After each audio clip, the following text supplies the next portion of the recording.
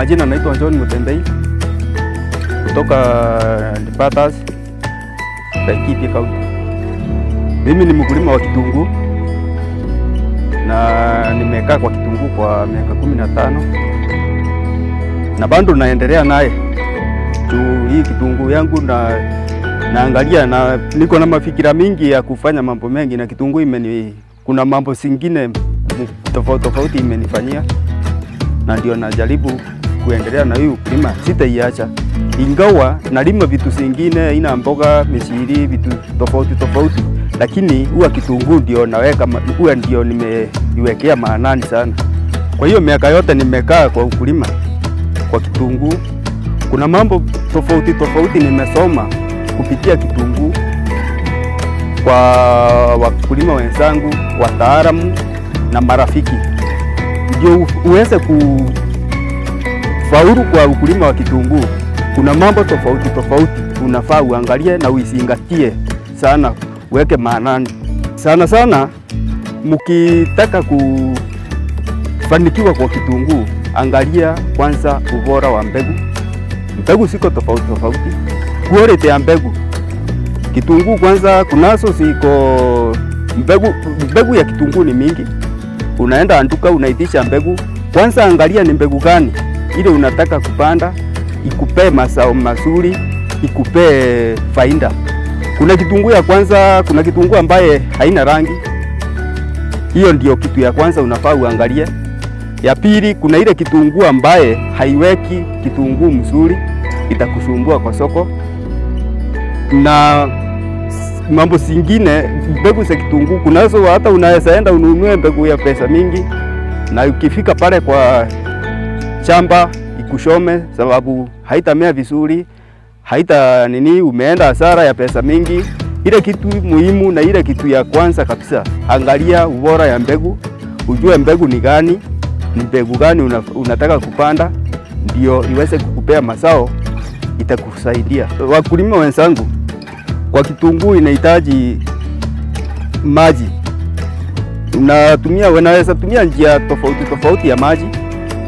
Ya kwanza kuna sprinklers, ya pili kuna drips, na ya tatu ni njia ambayo saa hii mahali mnaona hii kitungu yangu ni imetengenezewa basins, mahali maji itawekwa chini ndio iweze kukunywa maji ya kutosha. Na kitunguu inataka maji kutoka siku ya kwanza mpaka siku yenye utaona kitunguu imekataa maji yenyewe, itajionyesha yenyewe imekataa maji. Ukiinyima maji hakuna mazao, utakuta kitunguu ni kidogo, kitunguu ianze kukauka, wewe ufikirie kitunguu yako imekomaa jakomaa, upoteze pesa. Vile utaipea maji na vile utaitunza na maji, ndivyo kitunguu inaenda ikiwa kubwa na iweke usito. Hii si e, tunaitanga tuna kitunguu maji, kwa hivyo inafaa iwekwe maji mingi ndio iweze ku, kuwa na nguvu na kunona ndio inone. Upate faida. Kutunza kitunguu, ukishapanda inafaa ulimi e, kitunguu kitunguu iwe shamba imeng'ara, sababu ukiweka mbolea, wakati umeweka mbolea na ma, ile maji maji ikiingia kwa mchanga, ile magugu itashomoka yenye iko kwa mchanga, na ikishachomoka ile mbolea yenye umeweka hapa itakuwa inakimbisania na nini na kitunguu magugu.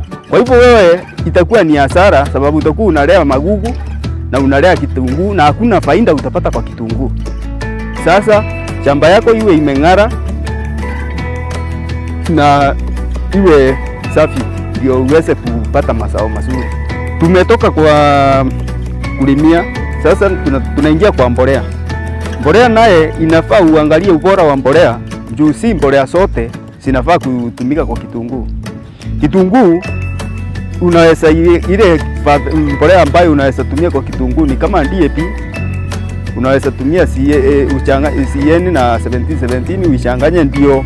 Ile DAP itengeneze mizizi sababu ya phosphorus, hii ingine itengeneze matawi nitrogen, na itengeneze stem ya hiyo kitunguu. Juu kitunguu inatakanga stem, hiyo stem ndio inalea ile ile kitunguu iko chini, ile viazi ndio iweze kupata nini, upate hiyo viazi iko chini. Haya, tuingie kwa kitu ingine.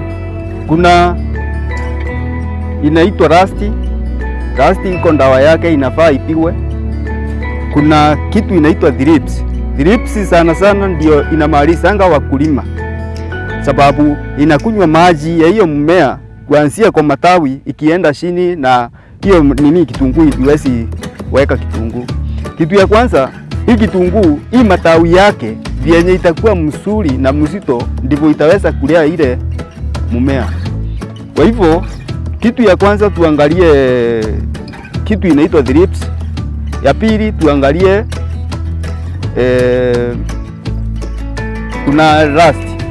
Hiyo rust nayo huwa inamaliza kitunguu, na hizo mandawa zote ziko kwa manduka zetu. na utaendea pale ya thrips utafanya nini?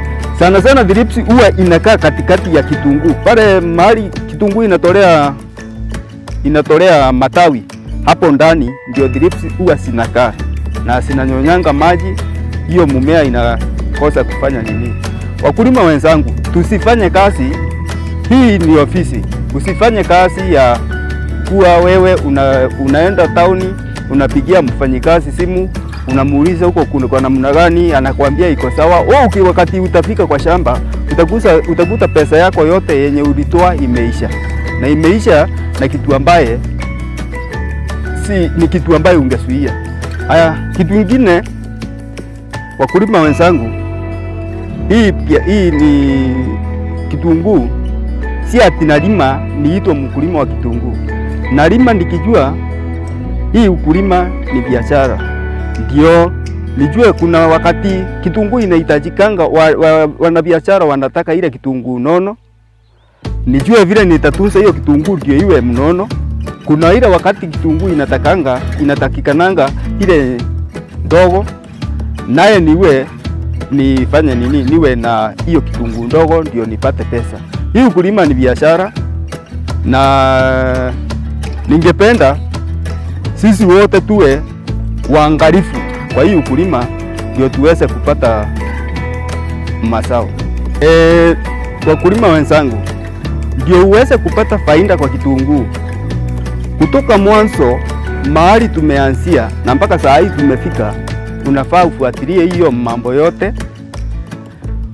E, unaweza hata ukitaka kujua mengi unaweza nipigia namba yangu ni 0724 305 001 hama utembelee wataalamu wa ukulima ndio uweze kufanya nini, kuelewa mambo tofauti tofauti.